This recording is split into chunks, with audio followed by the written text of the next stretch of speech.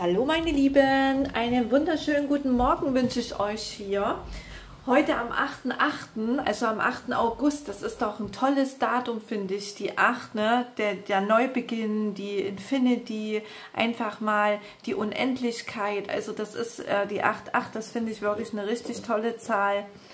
Ähm, generell diese 8, ne? dieses Zeichen. Und ja, wir wollen mal gucken, ähm, was heute auf das Kollektiv hier Schönes zukommt. Ich hoffe, ihr habt gut geschlafen, wart ruhig und entspannt und hier gewittert es gerade und regnet es gerade. Naja, vielleicht ist das so ein kleines Zeichen jetzt beim Orakel. Ich hoffe, dass es heute nicht bei den einen oder anderen hier irgendwo zu Hause gewittert. Also, ne, irgendwie ähm, Stress, Streit oder sonst irgendwas. Wir hoffen es einfach mal nicht. Ne? So, aber man sagt ja immer, das Gewitter kann ja etwas reinigen und dann klärt sich wieder was auf. Ne? Also wir wollen jetzt mal reingucken ähm, an diesem Tag, was erwartet denn heute das Kollektiv, mit was kann man denn heute hier rechnen? Mit was kann man denn heute hier rechnen? Was erwartet das Kollektiv? Uh, haut ganz schön runter jetzt. Also, was sich jetzt erstmal hier anzeigt, das sind hier die Gefühle. Also es fließt heute, die Gefühle fließen, die Antwort liegt auch heute in dir. Wir haben hier ein Geschenk, was dich erwartet ne? und wir haben hier die Liebe. Also es kann sein, dass hier heute in der Liebe etwas auf dich zukommt. Die, die Gefühle fließen hier wieder. Ähm, es kann sich anfühlen wie so ein Geschenk. Ne? Die Antwort, die liegt in dir. Hier ist die Göttin Freya mit dabei und die Liebe ist in dir. Du musst sie nur fühlen. Ja, und darum geht es heute. Ja, vielleicht bekommst du aber heute so schöne Gefühle auch durch ein Geschenk oder durch etwas, was in dein Leben kommt. Und ähm, ja, dadurch geht es dir vielleicht auch richtig gut. So, schauen wir mal weiter. 8.8. Was kommt heute auf dich zu am 8.8.?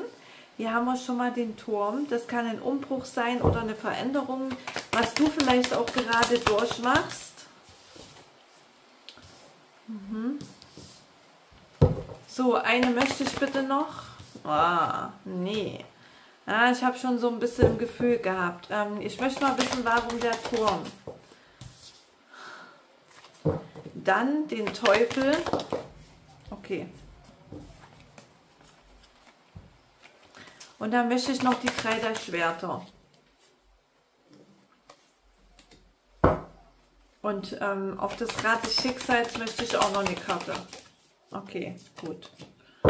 Also, was ich jetzt hier sehe, das ist erstmal ein König der Kelche.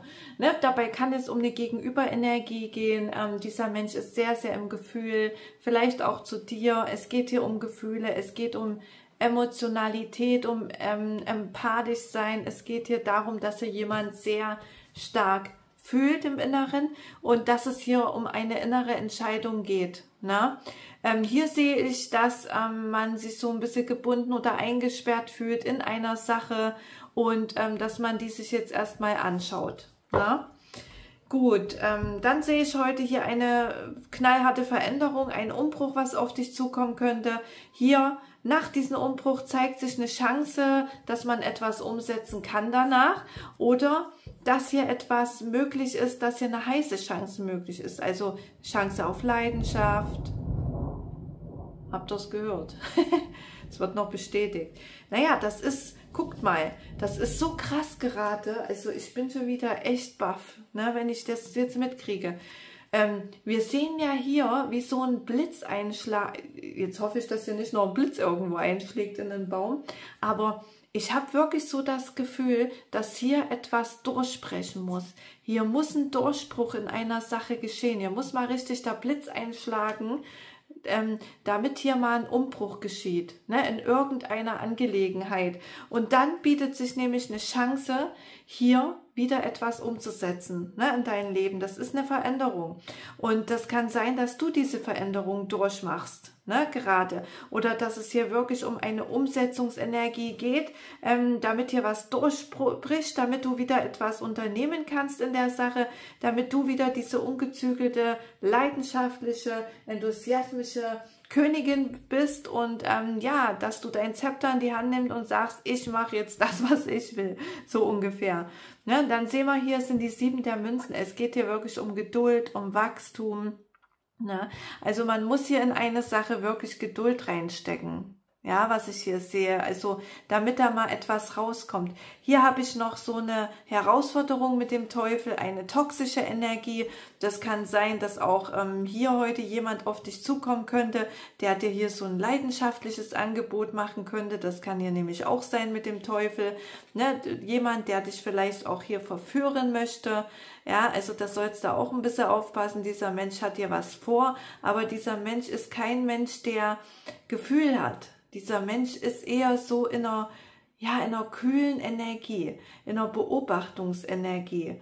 Ne? Und ähm, ja, vielleicht äh, ist dieser Mensch aber auch so wie der Teufel. Sorry, dass ich das so sage, aber irgendwie habe ich gerade so das Gefühl, ne, dass diesen Menschen vielleicht auch irgendwie der Teufel so ein bisschen gerade in der Mache hat. Also ja, ne, irgendwie kommt mir so eine Energie rein.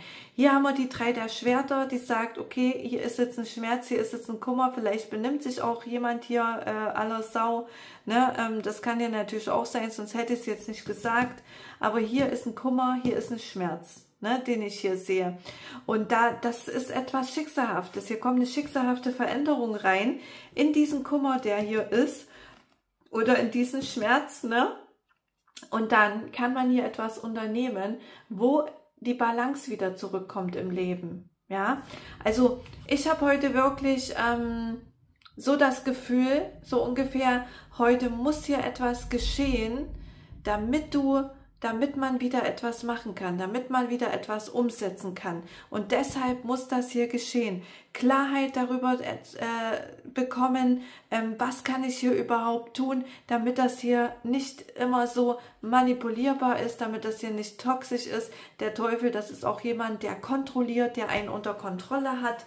Ne? Und äh, man muss hier das, man muss hier diesen, diesen Schmerz, man muss diesen Kummer hier unter Kontrolle bekommen. Ne? Den man hier heute hat. Also ganz krasse Energie, was mir heute reinkommt. Arbeitsmäßig sehe ich hier auch, dass man hier im Gefühl ist und dass man eine Entscheidung treffen soll, wirklich im Gefühl, weil auch da fühlst du dich wahrscheinlich in einer Sache noch eingesperrt in der Arbeit und es geht darum, hier mit etwas wirklich schwanger zu gehen. Es geht hier darum, eine Idee zu haben, sich die Dinge hier nochmal genau zu betrachten, wie man in die Fülle kommt. Ne?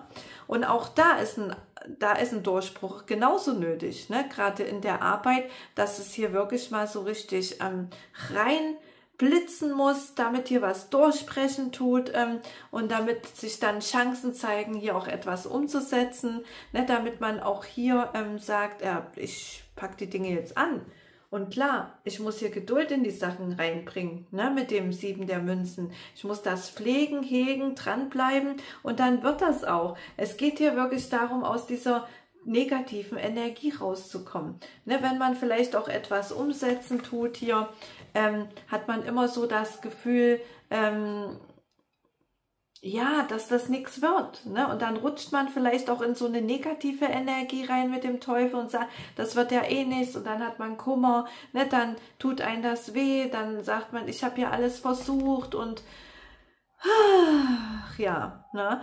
aber man kann etwas unternehmen. Werd dir hier wirklich klar, warum, warum lässt du dich hier so von den Teufel fesseln? Also warum lässt du guck mal, das, der Teufel, das ist ein Strippenzieher, ne? auch manchmal mit unserer Regierung gleichzusetzen, manchmal, ja, es ist so, das sind auch alles nur Marionetten, ne? das ist einfach meine Meinung dazu und dazu stehe ich auch, aber äh, guckt euch den mal an, der Teufel, der ist, der zieht dich auf wie so eine Marionette, Ne? Ähm, der hat dich hier an der, hat hier jemanden an der Schnur hängen. Ne? Und ähm, vielleicht flößt man hier jemanden auch Gedanken ein, vielleicht einem Gegenüber. Ne? Vielleicht mal hast, kriegst du aber auch diese ganzen negativen Gedanken hier von diesem Teufel ab, so dass er dich unter Kontrolle hat. Und ähm, es geht darum, hier wirklich was zu unternehmen, sich daraus zu befreien und sich mit dem Schwert einfach von der Energie hier, von den Strippenziehern abzuschneiden und dann zu sagen, okay, ich komme jetzt hier in meine Klarheit, Ne, ich bin mir jetzt darüber im Klaren, was ich überhaupt hier umsetzen kann. Und ähm, ja, dass der, dieser Schmerz hier weggeht, dieser Kummer. Ja, und dass man dann hier rauskommt und etwas unternehmen kann, ne, um die Balance wieder zu finden. Weil, wie sagt man immer so schön, auf einem Bein, da steht sich schlecht. Ne? Okay, machen wir weiter. Was kommt heute noch am 8.8. auf das Kollektiv zu? Habt ihr gesehen? Hä? Hä? Ich hab doch, da war da gerade das Herz und jetzt drehe ich nochmal um und da stand hier die Brücke. Eine herzliche Begegnung, Begegnung mit Liebe, okay? Gut, 8.8. Was kommt heute noch auf uns zu? Guck dir das an, ich rast aus. Tatsächlich kommt die Brücke, die sich zeigt. Ich würde äh, ich, ich würd jetzt echt einen Besen fressen oder essen, wenn jetzt noch das Herz kommt. Okay, 8.8. Was kommt heute noch? Okay, ich muss bis jetzt kein Besen essen. Eine Karte haben wir. Eine Karte haben wir noch. So, ähm, dann bitte das Durcheinander hier. Mhm, okay, das ist gut. Das ist schon mal gut. Weil ich sehe heute, dass es hier um die Kommunikation bei dir geht. Es geht um Kommunikation. Entweder kann dich da etwas enttäuschen oder es geht einfach um die Wahrheit. Ne? Ähm, man sieht hier nämlich ein Glück, aber irgendwas täuscht hier noch. Irgendwas läuft hier noch so ein bisschen falsch. Vielleicht ist ja auch so ein trügerisches Glück mit drin, kommt mir jetzt rein, ein trügerisches Glück. Ähm, vielleicht kann dich hier auch eine Kommunikation so ein Stück weit enttäuschen. Ne? Ähm, hier sind halt Gefühle, es geht um, ja, um Entscheidungen ne? mit den Gefühlen. Und ich sehe aber heute, dass es hier äh, um eine Begegnung geht. Es geht darum, hier in letzter Zeit ist es wahrscheinlich wirklich so, dass du hier wirklich dem Labyrinth begegnet bist. Ne? Vielleicht waren hier mehrere Personen involviert, vielleicht ging es ganz einfach darum, dass du im Labyrinth umhergelaufen bist und immer so gedacht hast, wie komme ich hier aus dieser Schoße raus? Ne? Wie komme ich hier aus diesem Mist raus?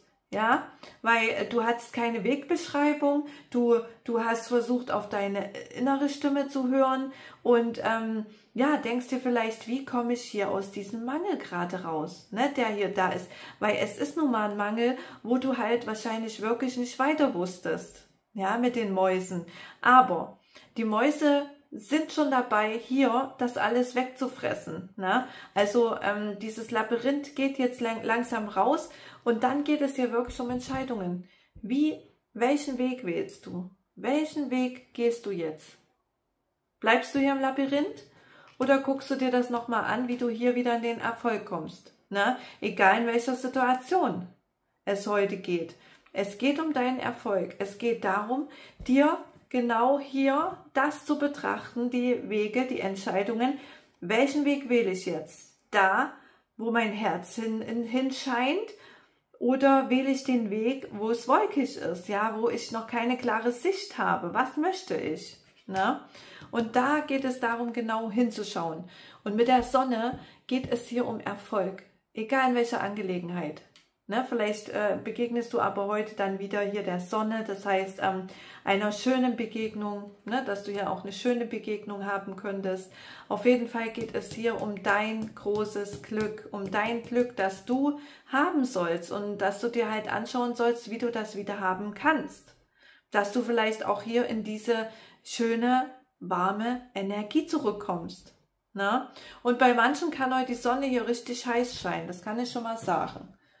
So, also du sollst ja da auch so ein kleines schattiges Blättchen suchen, sagen die Karten mir jetzt. Ich weiß nicht, warum mir das reinkam, aber definitiv kam mir das jetzt rein. Ne?